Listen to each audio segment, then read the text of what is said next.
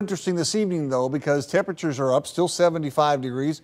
Dew points are in the 50s. It's a little muggier feel than we're used to uh, for this early springtime. And the wind field is up too, west at 18, gusting to 31. So you have more heat, you have more energy, you have more wind.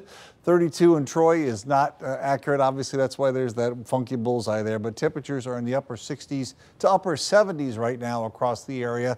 And so it's warm it's sticky. What that means is the showers that are out here now can develop very, very quickly. If you watch a little flare up here now, just to the west of the airport, going to cross 275.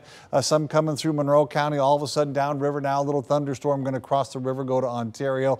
And there is more to come here. So the flow is from southwest to northeast. It's more widespread down here in Indiana. That's all got to come through this evening into the early overnight. It will be showers. There will be some storms with this as well.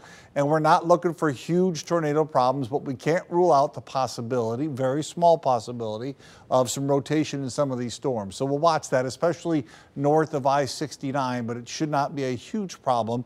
But we'll keep you updated, of course, if that gets to be concerned more. It would be thunderstorm winds that could be to 60 miles an hour and some very heavy downpours, of course, as it comes along. So if you look at the rain chances over the next several hours, picking up as the evening goes along, a little more wide coverage as well, sticking with us through the midnight hour here and then starting to taper off overnight. I think more of this will be between now and midnight than after midnight as we go along. Here's tomorrow morning, drying out for the day on Tuesday. Late on Wednesday, there could be some action coming back in here. This is the morning Wednesday, warm front, cold front kind of thing. It's just a busy pattern.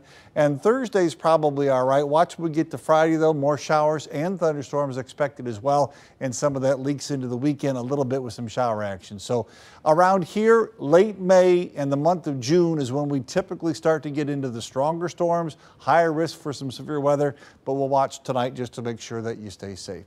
Overnight tonight, it's about 60 or so in Detroit, lots of mid 50s north. Storms will end pretty early in the overnight. The showers will hang around for a while this evening and overnight as well. And then tomorrow, close to 70 if you're not there.